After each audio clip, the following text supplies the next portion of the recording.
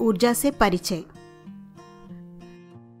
योजना, काम, जाँच, कार्रवाई।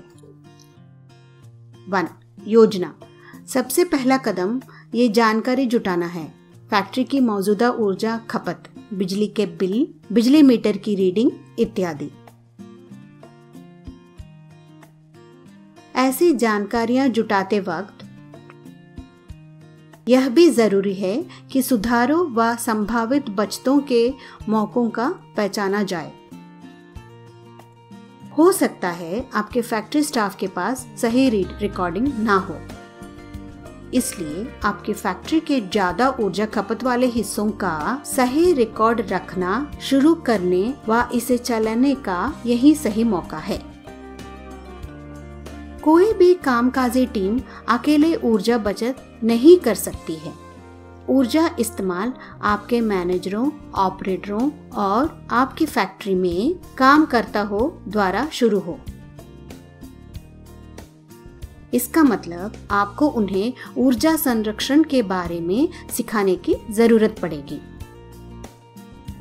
और उन्हें लक्ष्यों की प्राप्ति के मदद करने के लिए कहना होगा। वाजिब संसाधन मुहैया करवाने पड़ेंगे। आपकी फैक्ट्री को सुरक्षित ढंग से चलाने व संभालने के लिए नए तरीके और रचनात्मक को बढ़ावा देना होगा। खास तौर से उन कामों में जिनमें ऊर्जा की काफ़ी मात्रा लगती है।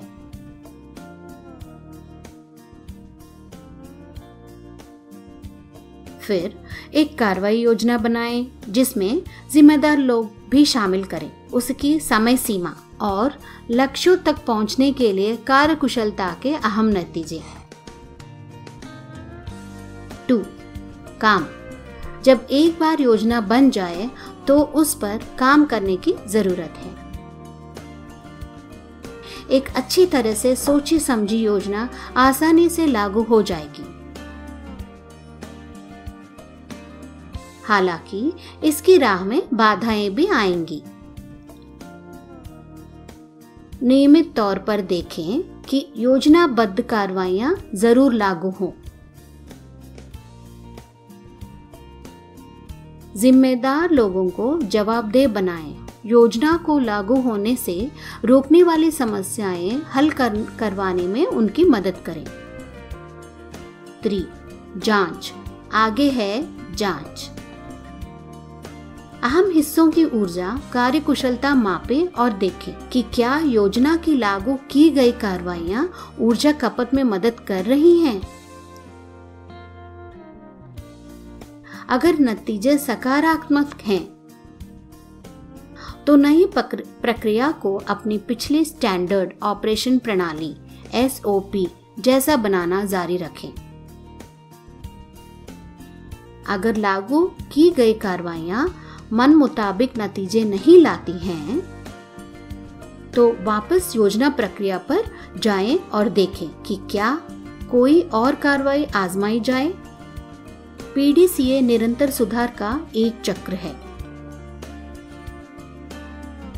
आखिरी बार नियमित तौर पर अपनी फैक्ट्री की ऊर्जा खपत की समीक्षा कर लें और ऊर्जा संरक्षण कार्यकुशलता को निरंतर सुधारें। अपनी फैक्ट्री में सभी विभागीय प्रमुखों को इनमें शामिल करें। समीक्षा में, नीतियाँ तय करने में, मानकों में एसओपी में और जब भी ज़रूरी हो, सुधार की कोशिशें लागू करें।